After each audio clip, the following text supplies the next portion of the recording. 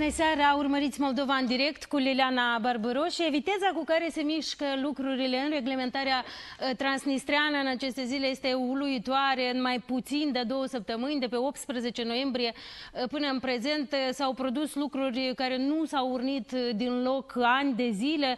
S-a deschis un pod, s-au găsit soluții pentru două chestiuni pe care insista de mulți ani Chișinăul și pe alte două chestiuni pe care insista Uh, partea uh, transnistreană. Avem mai multe înțelegeri decât speram la început de an, a spus astăzi un uh, reprezentant OSCE la Viena, unde s-a reluat dialogul în format 5 plus 2. Ce anume a impulsionat aceste lucruri? Cu ce preț? Dar cel mai important, se mișcă oare lucrurile spre o reglementare definitivă a conflictului? Încercăm astăzi să răspundem la aceste întrebări împreună cu invitații mei, să vă prezint imediat Eugen Carpov, care este uh, fost uh, vicepremier pentru reintegrare 2011-2014, dacă nu exact. greșesc. Uh, deputatul Eugen Carpov, bună seara, bine bună ați seara. venit. Ion Leahu, timp de câți ani în Comisia Unificată de Din Control? 2002 până Din în 2003. Deci suficient timp ca să știți cum stau lucrurile. Domnul Ion Leahu, bună seara, bine ați venit. Bună seara, bine Și Ion Tăbârță, analist politic, Idis Viitorul. Domnule Tăbârță, bună seara. Bine ați venit! Bună seara, bine v-am găsit! Domnule Carpov, aș începe cu uh, dumneavoastră. Ați fost în pielea domnului uh, Bălan. Cunoște, cunoașteți uh, probabil cel mai bine cum se obțin aceste, acest tip de înțelegeri sau mai bine zis cum nu s-au obținut uh, până acum. Vreau să vă întreb pe dumneavoastră în primul rând cât de importante vi se par cele două chestiuni cu școlile și cu terenurile uh, pe care se pare că s-au găsit uh, soluții sâmbătă când s-au semnat aceste protocoale. Cât de importante vi se par? Cum s-a ajuns la asta? E o altă întrebare, sper să discutăm și despre asta în emisiune, dar cât de importante vi se par? Deci uh, sunt foarte importante subiectele pe care le-ați menționat, școlile și uh, fermierii. Uh, școlile, din cauza faptului că cele opt școli au fost hărțuite în permanență pe parcursul anilor până în prezent. Uh, sufereau copiii, sufereau părinții, sufereau cei care țineau foarte mult cu sufletul și cu inima la uh, sistemul de educație al Republicii Moldova. Și acum aveți garanția că se schimbă lucrurile? Garanții niciodată nu avem. Noi uh, garanțiile le vom obține pe parcurs atunci când vom vedea cum se realizează uh, deci, uh, deciziile protocolare care s-au uh, semnat în practică. Bine, dumneavoastră sunteți optimist? Eu uh, aș spune că acum s-a produs totuși o deblocare a situației, a procesului de, de negocieri, care a stagnat timp de circa un an și jumătate, pentru că uh, negocieri în formatul 5 plus 2 uh, nu s-au mai purtat, au avut loc doar consultări, iar acum deciziile uh, care s-au semnat în format 1 plus 1, adică Chișinău-Tiraspol au impulsionat și discuțiile la un nivel politic în formatul 5 plus 2. Cu terenurile? Cu terenurile. Uh, de fapt, a fost un abuz uh, enorm din partea structurilor uh, din regiunea transnistreană atunci când în 2014 prin încălcarea flagrantă a protocolului din 2006, care reglementa foarte bine modul de folosire de către proprietarii terenurilor a acestor terenuri agricole a fost uh, unilateral stopat uh, mecanismul respectiv.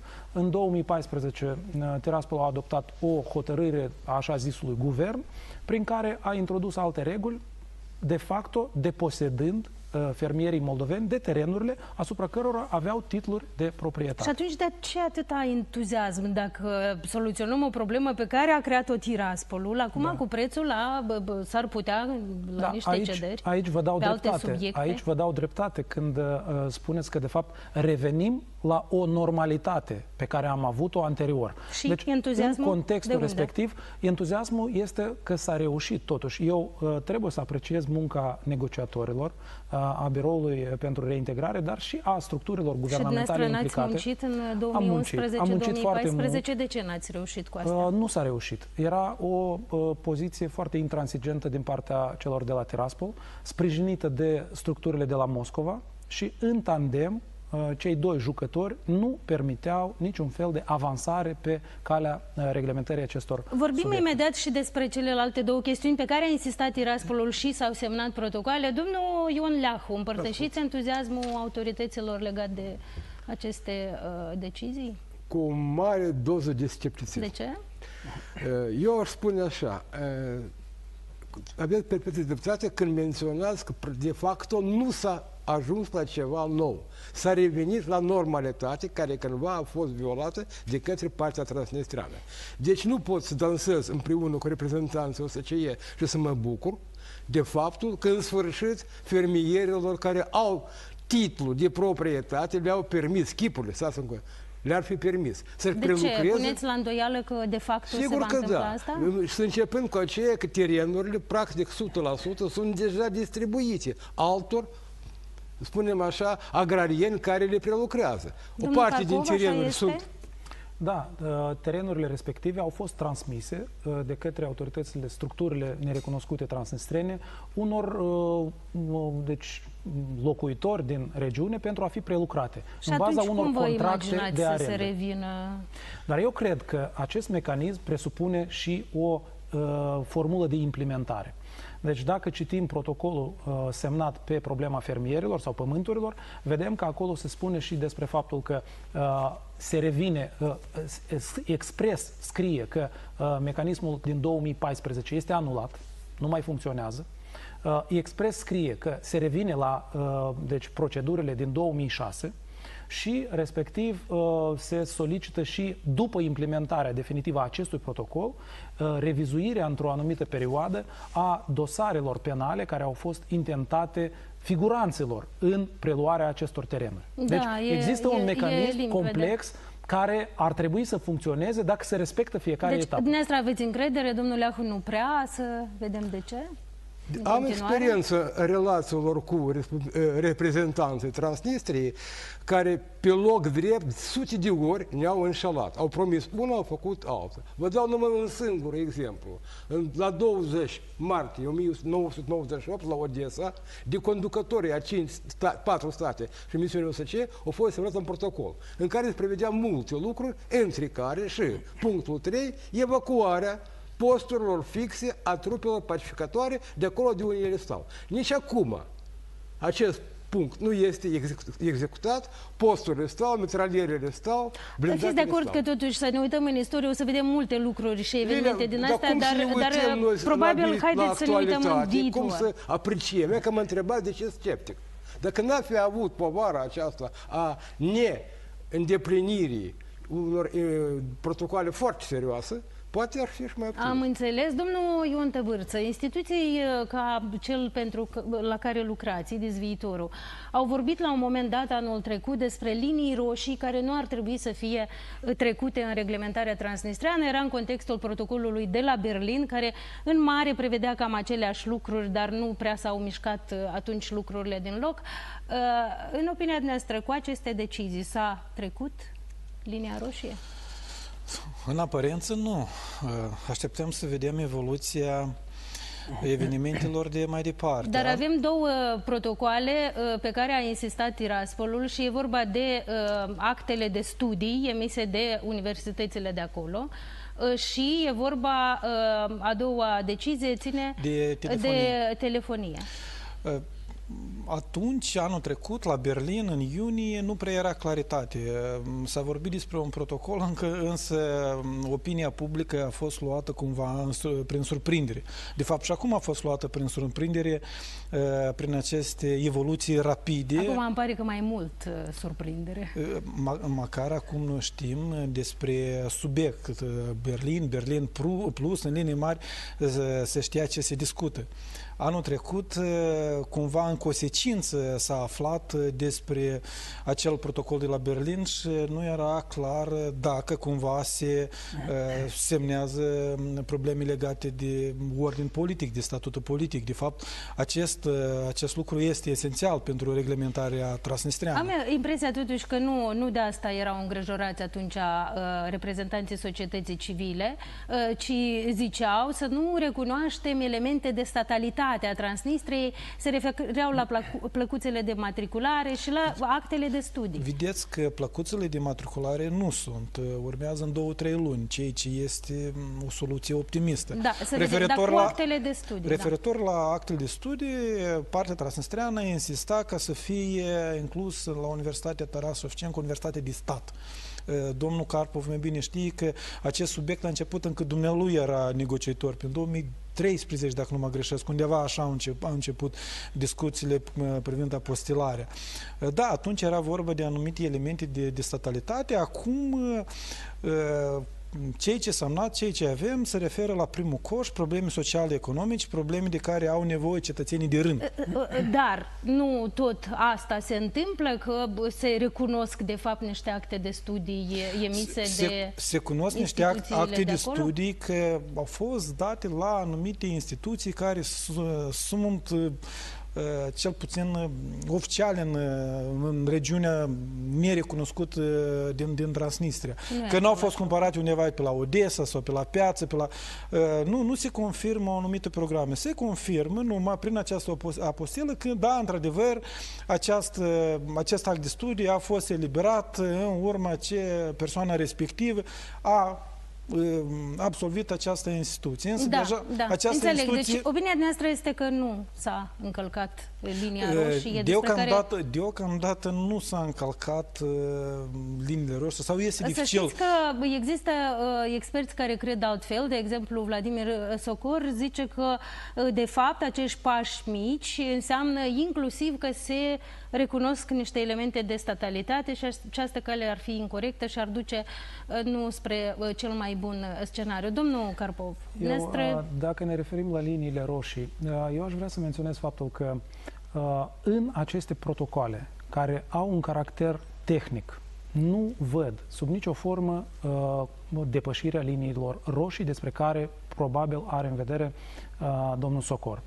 Uh, deja colegii au explicat, în, uh, în contextul acestor apostilări, Republica Moldova nu recunoaște sub nicio formă uh, instituțiile ca atare. Republica Moldova doar confirmă că pe teritoriul nostru, al Republicii Moldova, există asemenea uh, instituții. Prin apostilare. Prin apostilare. Și cu tare sau cu tare student a absolvit această instituție. Diploma este una veridică, dar noi nu uh, certificăm nici calitatea studiilor, nici curicula, nici faptul că recunoaștem aceste instituții. Deci, deci dumneavoastră dreptul... cumva minimalizați importanța, dar în acest caz, de ce Tiraspolul a acceptat, iată, două măsuri contra la alte două măsuri Pentru că, pe care n-a vrut până, până acum prezent, să cedeze nicio Până în prezent, aceste diplome nu puteau fi prezentate nicăieri decât în Federația Rusă. Și Federația Rusă le recunoștea și până în prezent cu apostilare sau fără apostilare. Acum, acești copii din regiunea transnistreană vor avea posibilitatea să se adreseze și la alte instituții pentru a continua studiile din uh, Europa sau din alte părți ale, ale lumii. Uh, ține de, deja de dreptul acestor instituții din străinătate să recunoască diplomele sau să nu le recunoască. Deci este un alt subiect. Întrebarea puțin... mea, de ce Tiraspolul a acceptat în acest caz să meargă în întâmpinarea Chișinăului pe alte două chestiuni pe care nu vroia deloc să cedeze cu terenurile, cu școlile? E un subiect care la... deja uh, uh, atunci trecem de la liniile roșii la, altă, uh, la, la alt aspect. De ce a acceptat? Păi acum trebuie să analizăm situația mult mai complex. Să trecem de la nivelul tehnic la un nivel, aș spune eu, mai uh, geopolitic, da, cu impact regional. Astăzi, uh, noi suntem într-o cu totul altă uh, situație decât era până în 2014.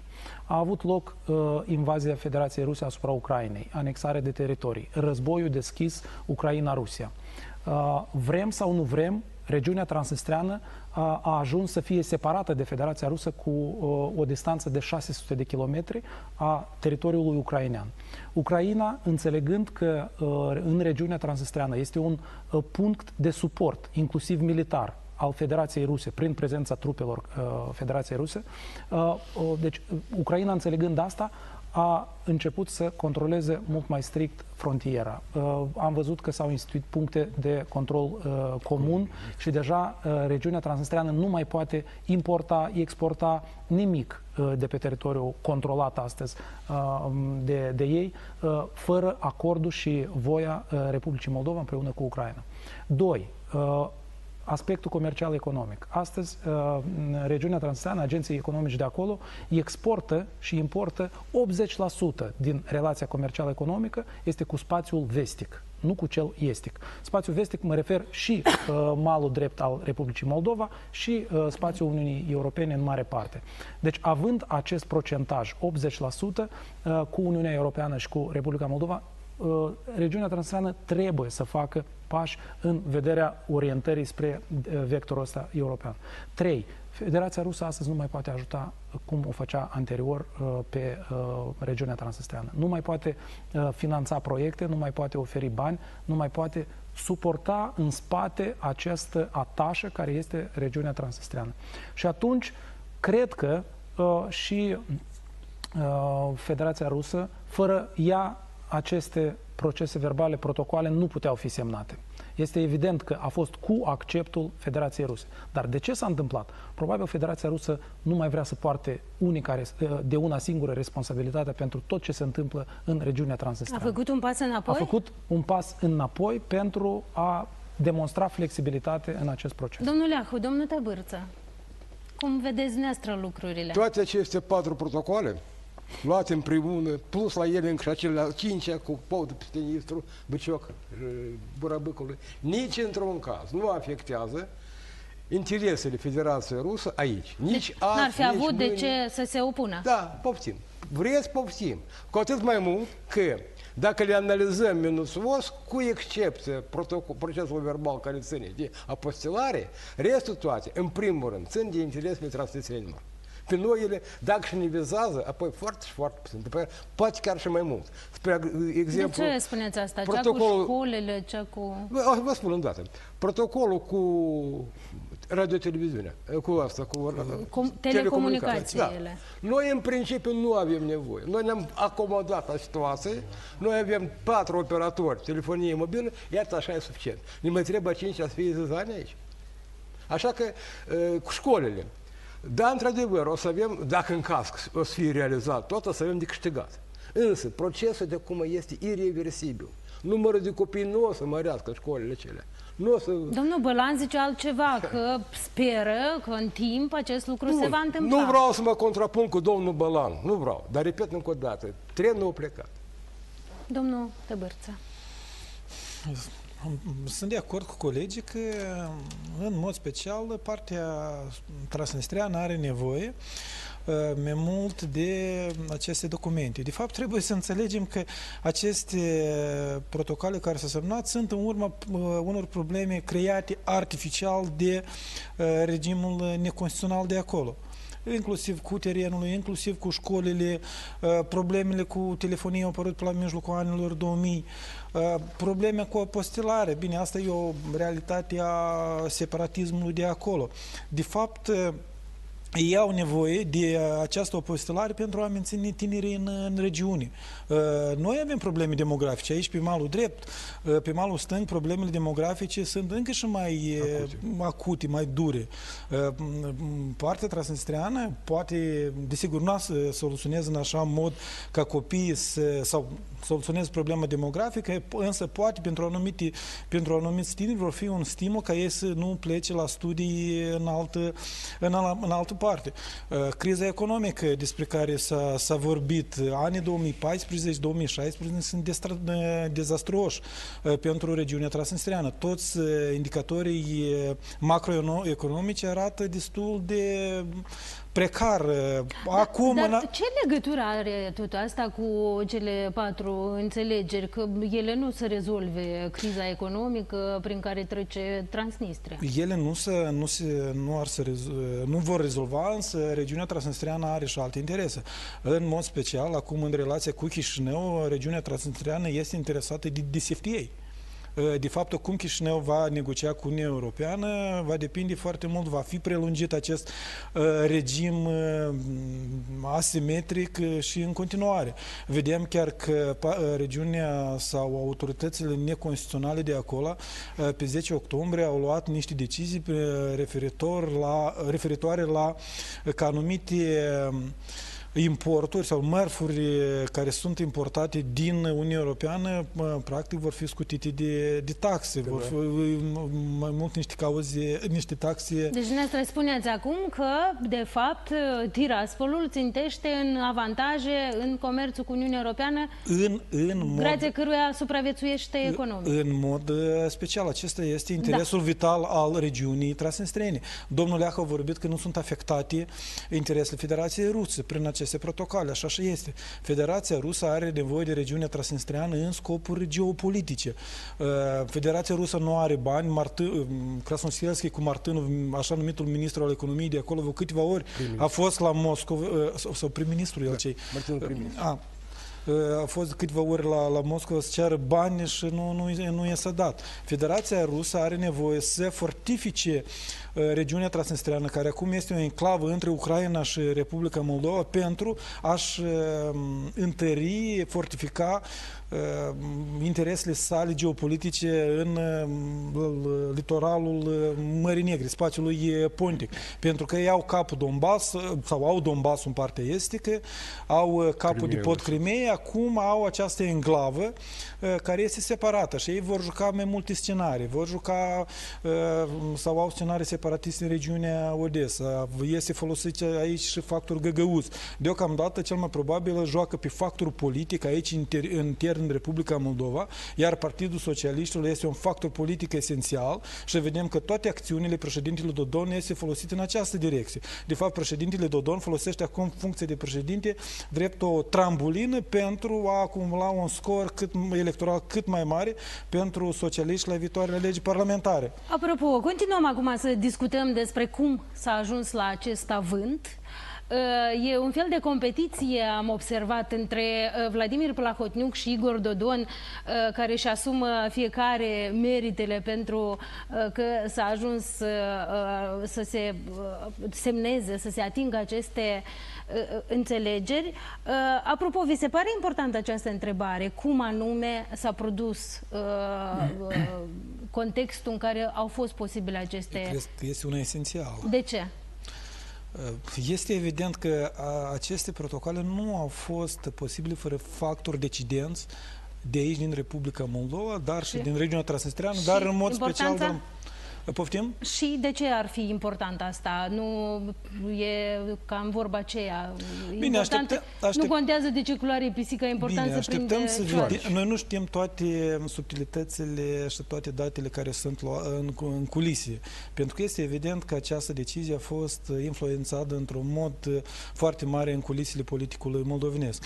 Chiar recent știam o știre că compania Șerif a trimit licență de a comercializa petrol în partea dreaptă. Asta s-a întâmplat cu vreo jumătate de Nu, nu, acum recent. Acum, acum recent, recent uh, nu uităm cum uh, mass media apropiată Partidul de Guvernare a ambalat acest uh, eveniment. Bine că, desigur, guvernarea are nevoie de succes, însă a fost ambalat într-un mod triumfalist.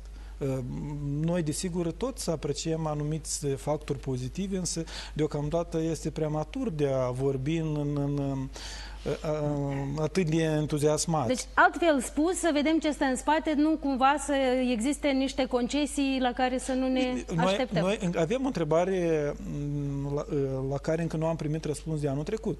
Ce cu acel val bruz de creștere activismului civic și politic a cetățenilor din stânga Nistru pentru a vota la alegeri prezidențiale?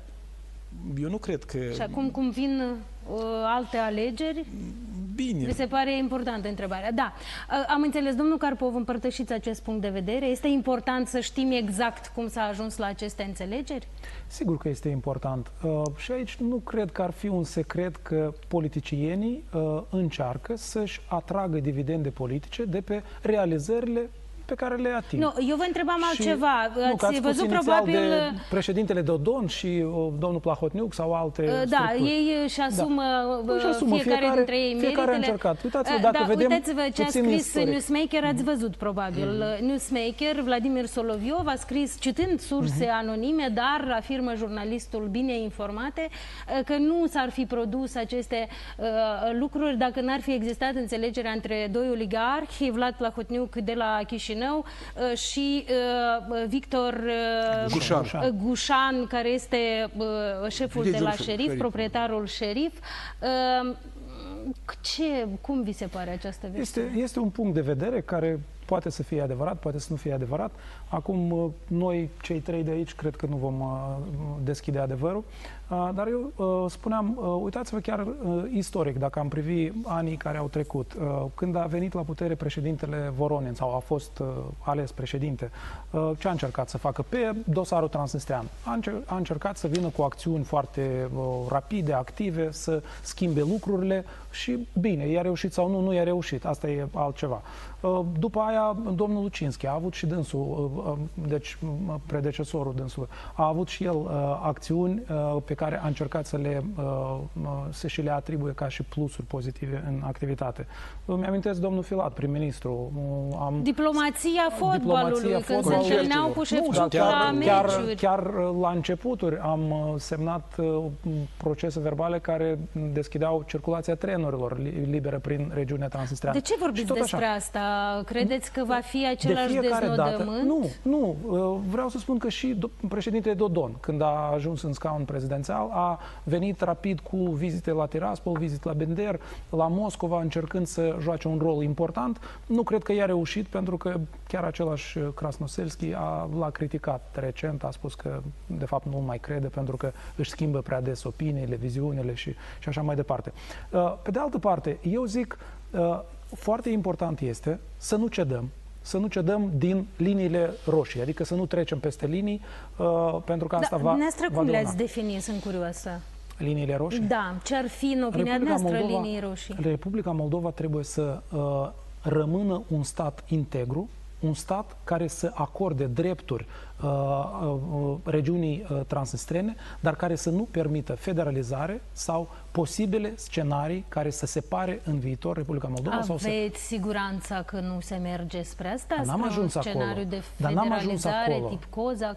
Dar n-am ajuns acolo. Uh, deci scenariile respective se vor discuta atunci când vom intra pe uh, negocieri politice asupra statutului regiunii transnistrene. Nu s-a discutat niciodată, nici pe perioada mea nu s-a reușit să obținem discuții pe acest subiect decât tangențial sau neoficial. Da, dacă asta, asta admitem că au fost niște înțelegeri obscure între doi oameni, uh, unul politician, altul din business, din Transnistria, uh, de ce nu am admite că s-ar putea la un moment dat tot ei să se înțeleagă și pe subiecte de acest gen?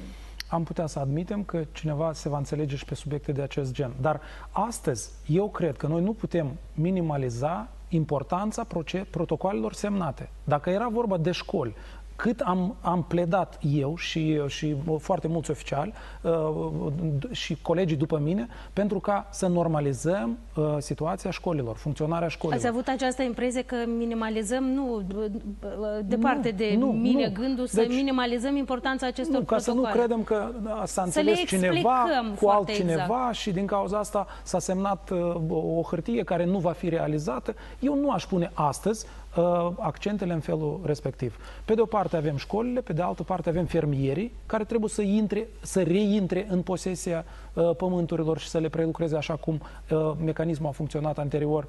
Legătura telefonică poate nu este atât de importantă pentru că ne-am obișnuit, cum spunea domnul Leahu, și am depășit faza asta de blocaj telefonic, dar uh, uh, cetățenii noștri plătesc mai mult atunci când sună în regiunea La fix, da. pe, pe liniile fixe. Plătesc mai mult. Telefonie, telefonie mobilă deja a depășit uh, liniile de administrative de separare, dar uh, comunicarea fixă încă uh, da, este. Apropo despre această problemă, cum s-a ajuns la această situație? De ce în 2006, la un moment dat, a dispărut legătura telefonică fixă da, între cele două maluri?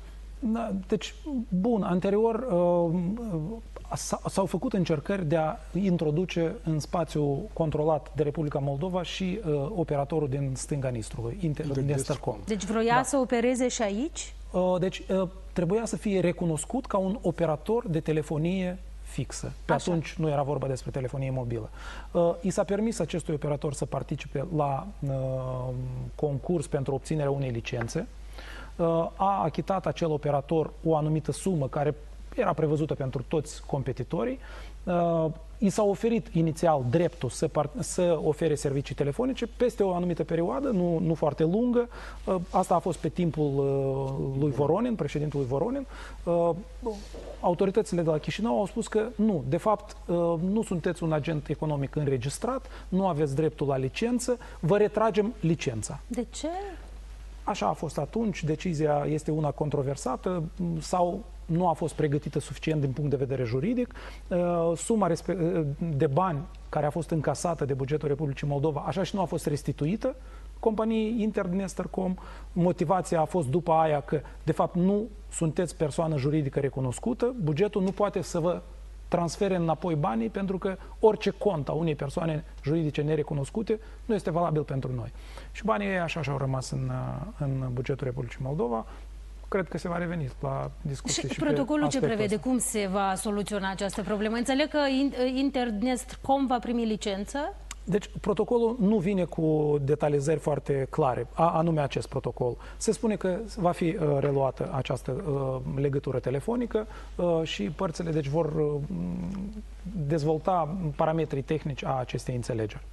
Oricum este o înțelegere care este trebuie una, una, salutată, totuși, Eu aș spune credeți, că este da? una apolitică. Apolitică. Este vorba de telefonie, de comunicare. Eu care sunt din regiunea transnistreană, părinții mei ambii sunt din regiunea transnistreană, am foarte multe rude. Mama mea nu sună la mobil în regiunea transnistreană, mătușilor uh, care, care le avem acolo. Dar folosește linia uh, Fix. fixă. Din punctul ăsta de vedere, da. uh, va fi mult mai ieftin să sunăm uh, dacă vom găsi o legătură directă, dar nu vom suna prin sateliți care se află uh, în uh, dirijarea Statelor Unite sau altor uh, în continuare, propun să răspundem uh, la întrebarea cu ce preț totuși uh, credeți că s-au obținut Um, aceste uh, lucruri și vă întreb asta pentru că uh, ar trebui să ne uităm cumva la contextul general. Ați pomenit un element de context, faptul că um, șeriful a primit pe teritoriul Republicii Moldova această licență pentru importul de uh, carburanți. V-aș ruga să vă mai uitați la un element de context. Unii în presă au făcut această legătură cu solicitarea Republicii Moldova către ONU ONU uh, privind retragerea uh, trupelor ruse din regiunea transnistreană. A fost un episod cam neclar, a rămas o doză de confuzie asupra lui. Uh, premierul Pavel Filip a mers la ONU și a cerut mai întâi includerea chestiunii pe agenda, după asta o publicație de la Chișinău a publicat o scrisoare a reprezentantului moldovenesc la ONU prin care se cerea amânarea uh, acestei uh, chestiuni. Uh, premierul Filip s-a supărat pe acest uh, ziar și a zis că de fapt nu s-a cerut o amânare. Deci, a, a fost o chestie uh, oarecum uh, neclară. Dumneavoastră vedeți vreo legătură? Ar putea avea vreo legătură aceste, eventual, aceste înțelegeri și iată eventual Uh, solicitarea și apoi retragerea sau un pas înapoi în uh, chestiunea asta legată de, de solicitarea către ONU.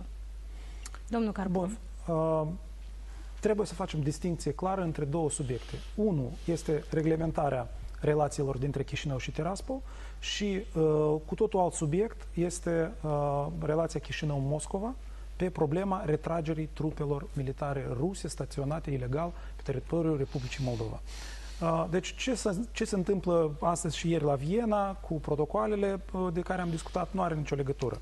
Eu cred că uh, poziția Moscovei vis-a-vis de retragere este cu totul alta decât poziția vis-a-vis de procesele verbale de, despre care discutam noi. Rusia, din punctul meu de vedere, nu cred că astăzi este interesată sau uh, disponibilă să demonstreze flexibilitate pe problema retragerii. Putem Republica presupune Moldova, că a constituit și ăsta un element în negocieri? Uh, adică să fi spus Tiraspolul prin, sau Rusia prin Tiraspol, retrageți, faceți un pas înapoi cu acea cerere și uh, o să fim mai flexibili? Nu, nu cred. Nu cred. Uh, eu nu am participat la dialogul care l-a avut Chișinău cu uh, ONU pe subiectul includerii pe agenda a discuțiilor privind retragerea, dar uh, din ce am înțeles explicațiile autorităților au fost că s-a retras temporar subiectul pentru că nu erau suficiente voturi pentru ca acesta să fie inclus pe agenda. Deci pragmatic decât, cumva, o abordare pragmatic, pragmatică. Decât să uh, avem un vot negativ și subiectul nostru să nu fie inclus pe listă, uh, ar fi o, un câștig pentru Federația Am Rusă. înțeles părerea dumneavoastră. Domnul Leahu, domnul Tăvârță.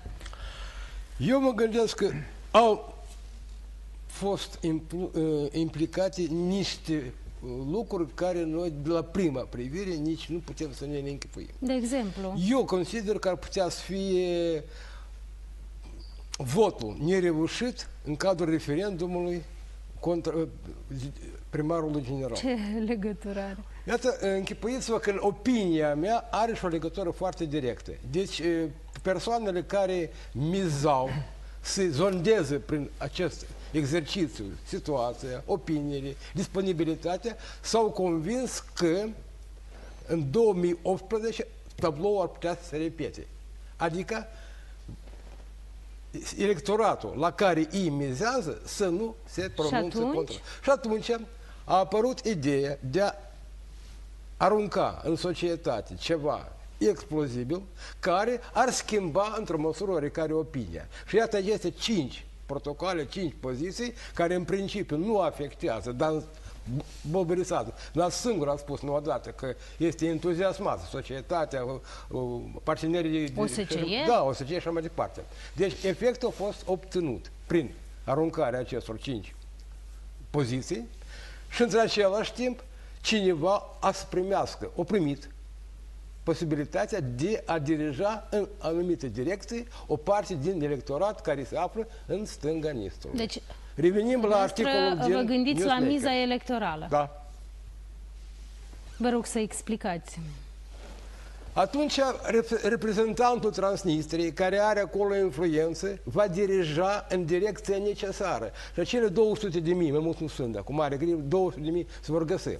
De votanți vor vota așa cum trebuie cont agentului lui din la Chișinău. Domnul, da, dacă foarte, îmi permiteți... Foarte, dacă trebuie îmi permiteți, să recunosc că uh, trebuie să mai dacă, chipzuiesc un pic nu, la dacă această permiteți, versiune. poate da, cumva încerc să răstălmăcesc uh, ce a avut în vedere domnul Leahu.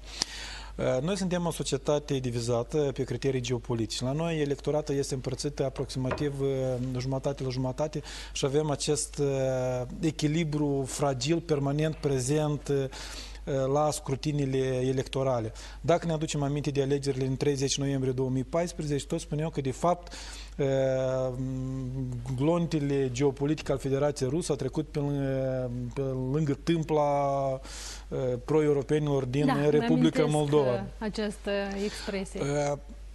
Federa Federația Rusă are nevoie de un partid pro-rus la guvernare aici în Republica Moldova. La moment avem socialiștii, însă după câte se pare, socialiștii nu au garantat uh, electoratul necesar uh, pentru a uh, veni la, la guvernare sau chiar dacă vor veni, vor avea un avantaj foarte, foarte fragil.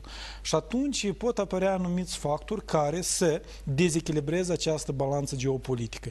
Uh, un astfel de factor ar fi că cei 200.000 de, de alegători, potențial alegători din regiunea transnistriană care nu sunt în câmpul electoral moldovenesc, nu sunt în câmpul politic, lor să le se permită acest lucru. Și vă închipuiți care, va fi, sau care vor fi preferințele voturilor lor. Adică, cumva, partida pro-rusă din Republica Moldova primește un surplus uh, substanțial uh, ele, electoral. Da. Noi Tiraspolul avem schimb... ce primește? Poftim? Tiraspolul ce primește? Uh, Tiraspol, de fapt, aici trebuie să vedem uh, care sunt interesele Moscovei. Noi înțelegem foarte bine că Moscova este jucătorul uh, principal și Tiraspol nu are aici autonomie. A avut Șefciuc la începutul mandatului său ceva autonomie, însă a mai fost pe la Atos, a venit aici la teatru, dar uh, odată... Nu, o secundă operator a telefoniei mobile în dreapta Nistrului, el acolo are 200 de mii de abonenți, asta cel mai bun caz. Aici vine la milioane. Bine, noi, noi domnule Leacu, vorbim de, de Moscova. Scopul Moscovei este unul uh, geopolitic.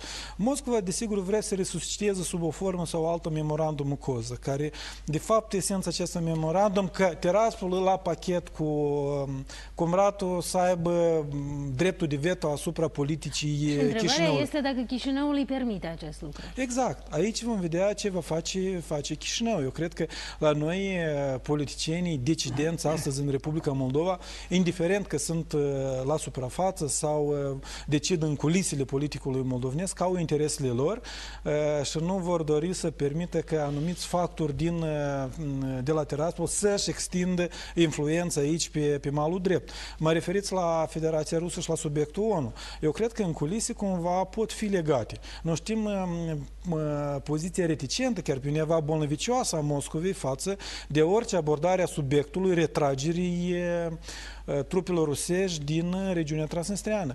Ne aducem aminte anul 2012 legat de acel incident nefericit la podul de la Vadul Apropo, care a fost... dumneavoastră, vedeți legătură între uh, chestiunea asta, povestea asta legată de cererea față de ONU și... Eu cred că, eu, bine, nu pot să fii sigur, dar... Da, cum anume?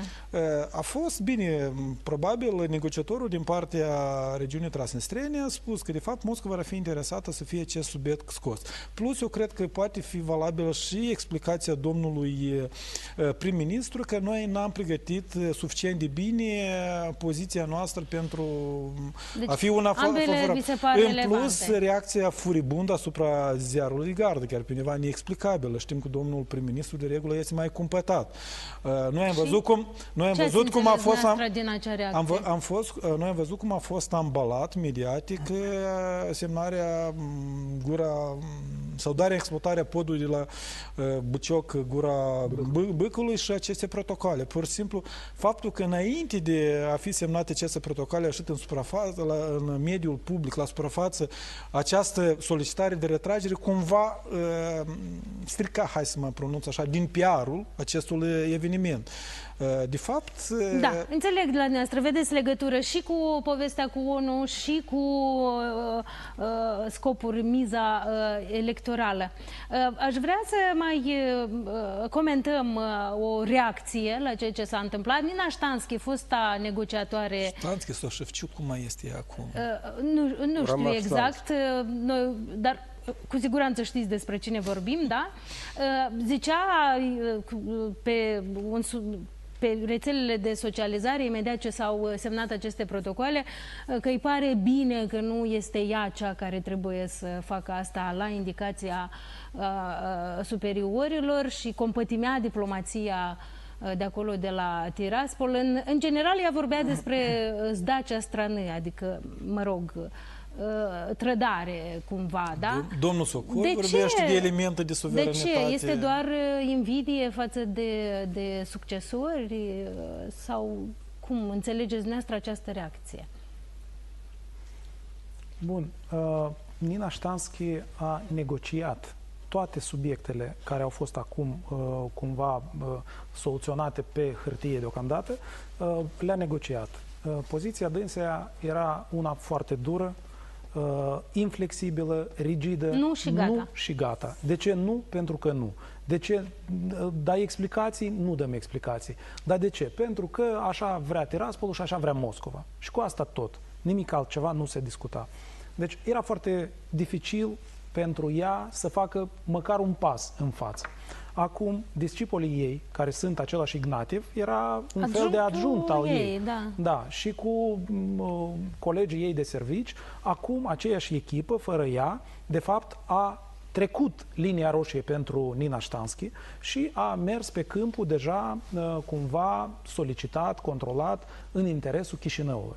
Uh, dânsa consideră că este o trădare, pentru că ea și acum pe rețelele de socializare scrie că Transnistria este stat uh, suveran. suveran, plenipotențiar și doar încă nerecunoscut. Este o idee care, de care ea se ghidează, dar uh, idee care nu are nicio șansă să fie realizată și acum probabil cei de la Tiraspol înțeleg că uh, trebuie să fim mai apropiați de realitate, fără ca să încercăm să fim idealiști până la capăt, murim, dar rămânem idealiști. În ceea ce a rămas până la finalul emisiunii, uh, o să vă expuneți și dumneavoastră dacă o să aveți ceva de spus uh, la subiectul anterior, uh, dar uh, pe uh, finalul emisiunii aș vrea foarte mult să discutăm în, încotro se îndreaptă acest car, iată, cu aceste lucruri întâmplate, cu aceste înțelegeri uh, atinse, încotro se îndreaptă acest car și întrebarea de bază este dacă nu uh, uh, admitem cumva uh, ceea ce ziceați dumneavoastră, domnul Tăbârță, mai devreme, federalizarea uh, Republicii Moldova după modelul dorit uh, de Rusia. Cum facem ca să nu se întâmple asta? Dacă îmi Încotro, permiteți. domnul Leahu, se Eu îndreaptă spun așa, lucrurile? începând cu 6 iulie curent, de la vizita lui Krasnoselski la Londra, unde el, în cadrul clubului de la Oxford, o expus argumentele istorice pentru suveranitatea Transnistriei și terminând cu ziua de 18 noiembrie, când uh, actualul ministru de externe, Ignatiev, a fost invitat în Israel și în Universitatea la Tel Aviv, din nou a reiterat calea noastră este suveranitate și noi vom fi recunoscuți. Noi avem toate uh, dovezile istorice să fim recunoscuți. Deci, elementul, fragmentul cu aceste 3, 5 protocoale este ceva ieșit din comun. Adică integral tot ce promovează ei, promovează suveranitatea, independența. Deci își doresc independența, asta este lucru Așa că clar eu pentru consider, toată lumea. Scuzați-mă, de asta e părerea mea. Deci credeți că își doresc independență, dar acționează cumva nu acum... acționează, ei sunt nevoiți, sunt impuși de situație a admite careva abateri de la această cale. Noi am fixat-o. Cum o tratăm? Fiecare are drept să o trateze în felul. Domnul Carpov? Deci, uh, o, o eventuală revenire la memorandumul COZAC, ceea ce spuneți dumneavoastră că ar fi o federalizare, uh, eu consider că, uh, sigur că teoretic este posibilă, dar nu realistică. Pentru că chiar și președintele anterior, Voronin, care era un adept al tot felul de intenții ale Moscovei care să fie implementate, cel puțin în faza inițială, să fie implementate în Republica Moldova, a ajuns la concluzia că uh, Federația sub uh, forma concepută de, de uh, Kremlin nu este o, o soluție viabilă pentru Republica Moldova. Eu nu aș crede că astăzi cineva merge pe ideea, care o spune Dodon și încearcă președintele Dodon să o promoveze, merge pe ideea să uh, creăm o federație în tot sensul acestui cuvânt. Nici partenerii europeni nu am auzit să promoveze asemenea idei. Uh, Bine, prognoza noastră, ce urmează? Prognoza mea este următoarea. Uh, urmează uh, implementarea altor înțelegeri. Astăzi, la Viena, după cum, după cum am văzut în presă, a fost semnat un alt protocol care vorbește despre libertatea de circulație. Asta include și acele plăcuțe neutre pentru autoturismele din uh, regiunea transnistreană. Doi, libertatea de circulație pentru toți uh, moldovenii uh, de pe malul drept, stâng, indiferent de funcții. Astăzi avem interdicții, miniștri, deputați și foarte mulți funcționari publici. Uh, de pe malul drept avem interdicție să uh, traversăm râul Nistru. Uh, Trei, uh, era vorba acolo și despre uh, reducerea uh, sau excluderea uh, oricăror obstacole pentru libera circulație. Da, asta eu aș înțelege ca și posturile de control, așa numit, vamal, grăniceresc uh, și restul care există. Deci trebuie mers pe o liberalizare totală a tot ce înseamnă circulația de uh, cetățeni, bunuri, uh, între, între uh, două maluri ale Domnul Carpov, râului dar Nistru. acea bă, chestiunea cu plăcuțele, de ce ea, că ea se discută de mult mai multă vreme? Înțeleg că Tiraspolul ar avea mult mai mare interes să se rezolve iată această chestiune. Da. De ce uh, este lucrurile una vitală trenează? pentru Cum ei. vedeți dumneavoastră lucrurile? Este una vitală pentru ei. Plăcuțele uh, respective sunt acceptate pe malul drept uh, în forma lor actuală uh, și erau acceptate pe spațiul CSI mă, traversând frontiera cu Ucraina. Lucrurile cu Ucraina le-am discutat, se înră- înrăutățesc și autoritățile ucrainene nu sunt dispuse să închidă ochii pe foarte multe elemente uh, care nu corespund dreptului internațional și provin din regiunea transnistreană.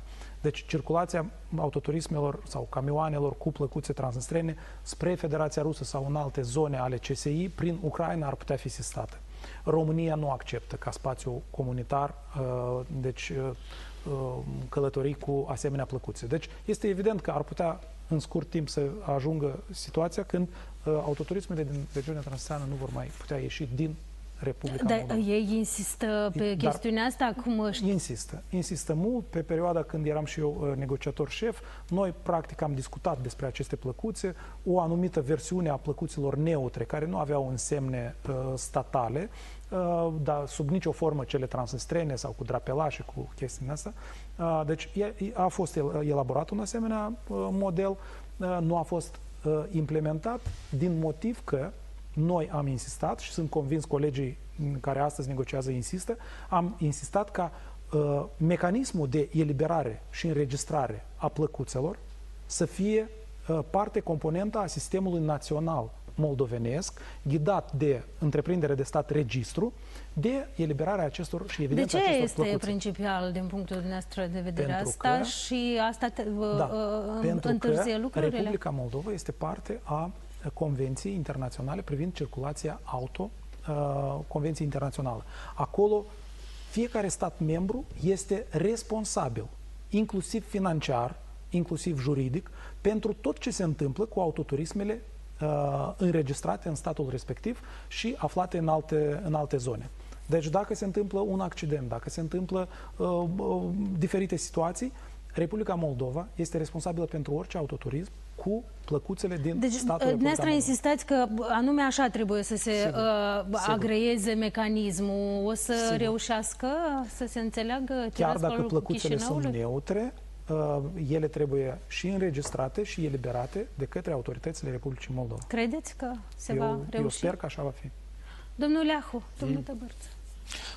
Dacă va fi altfel, înseamnă că se vor încălca acele linii roșii despre care dumneavoastră ați vorbit la, la începutul emisiunii. Evident că trebuie să fie așa și numai așa, altfel nu are cum, cum fi pentru că Republica Moldova este statul suveran.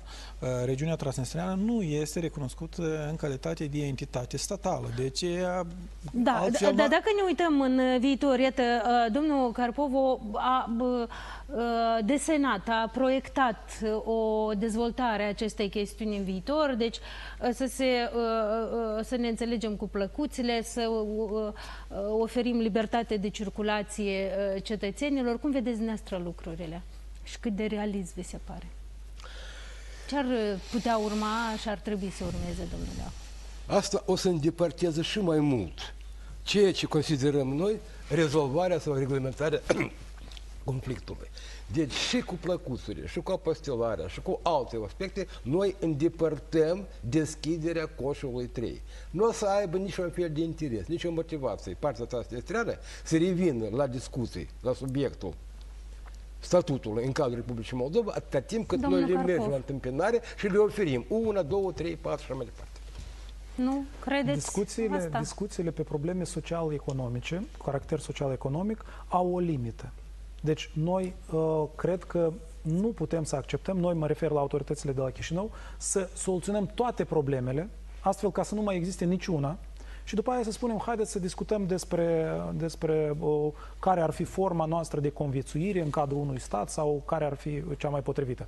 Eu cred că uh, acum trebuie rezolvate problemele urgente și în mare parte se rezolvă, cel puțin prin protocoalele semnate acum, uh, problemele cu care se confruntau cetățenii uh, loiali No, bine, da, întrebarea este ce pune pe urmă Chișinăul pe masă atunci când uh, insistă ca să se treacă la coșul 3, adică la discuția despre statut, chiar, despre chestiuni pe care Tiraspol nu vrea să le discute. subiectul liberei circulații deja uh, conține elemente care sunt din domeniul securității, pentru că mă refeream la uh, punctele de control care trebuie eliminate, deci ca să nu mai fie bariere între noi.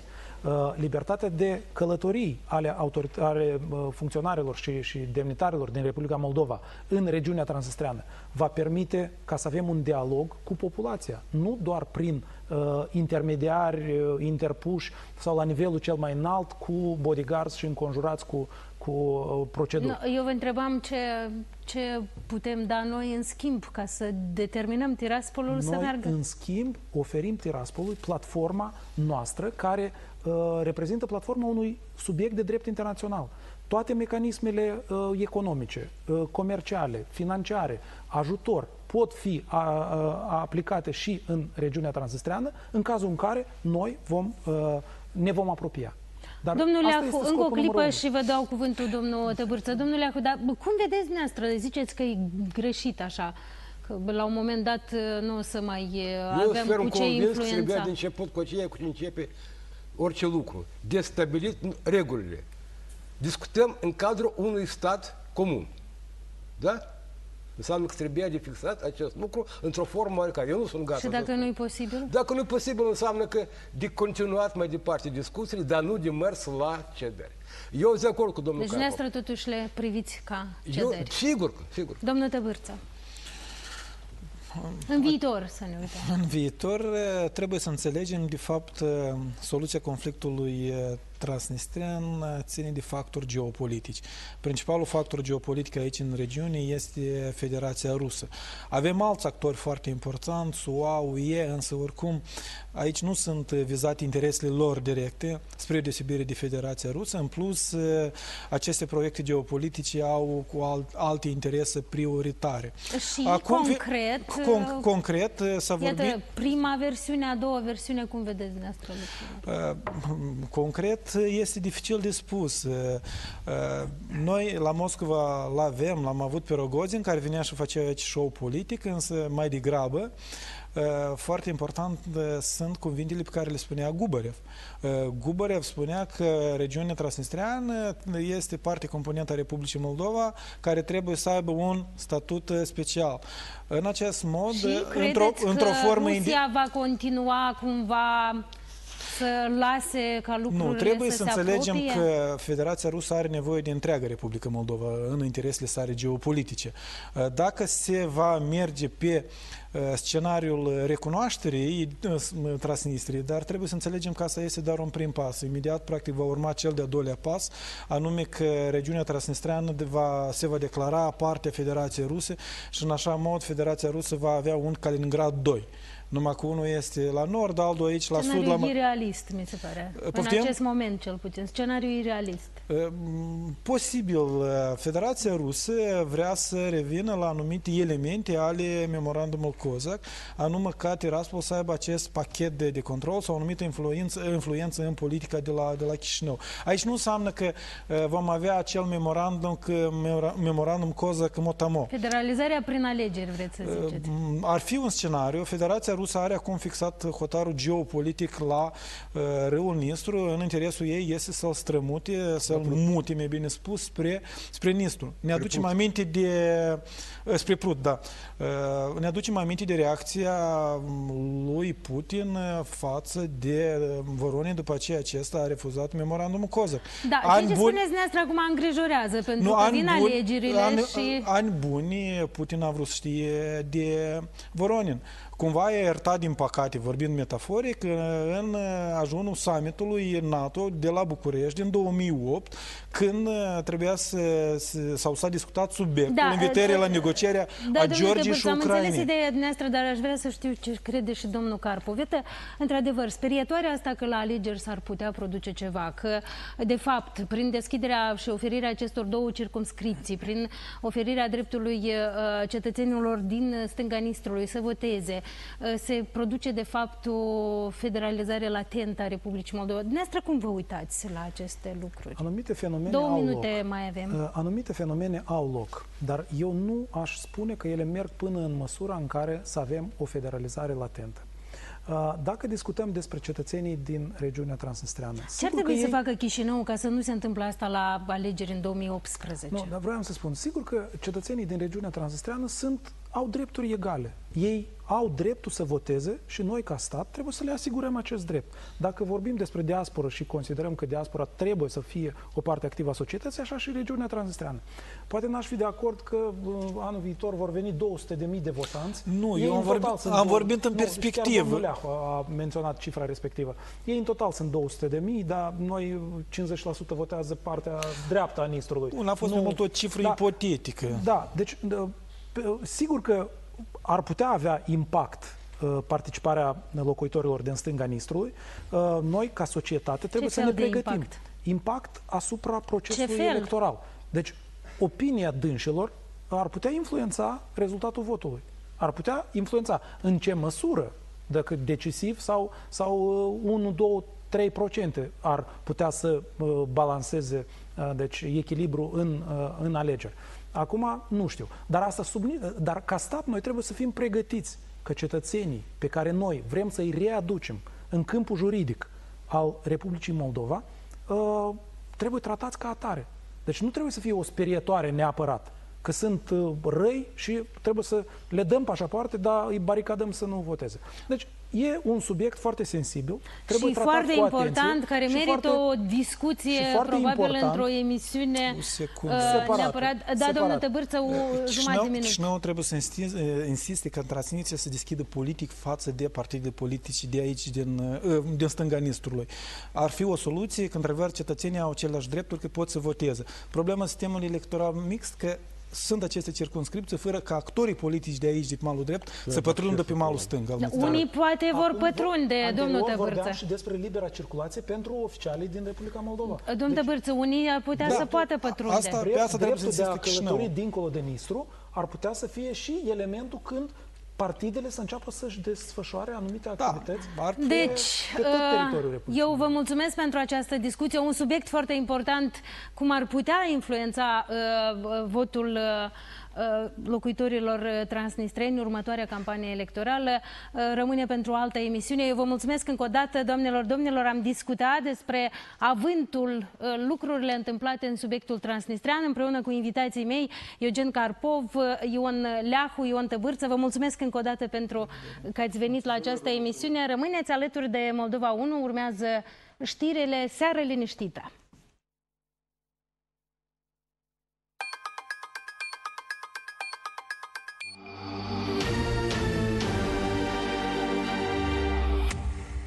Uh...